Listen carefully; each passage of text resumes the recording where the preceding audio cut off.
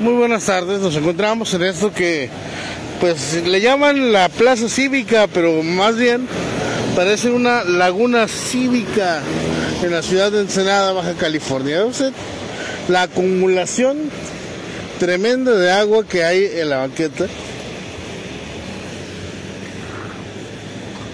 Y eso que apenas acaba de llover, ¿eh? apenas eh, hace unos minutos empezó a caer agüita.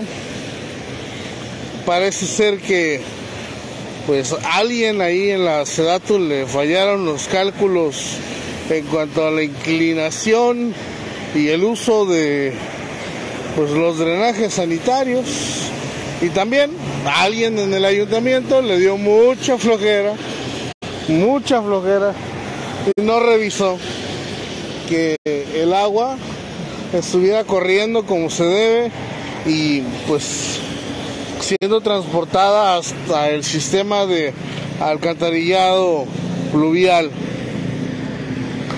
Por eso, pues por la flojera de algún funcionario municipal, tenemos esta plaza cívica que ha llegado a acumular cantidades importantes de agua eh, durante la lluvia, más o menos hasta por donde estamos caminando ahorita, hasta acá se ha llenado de agua.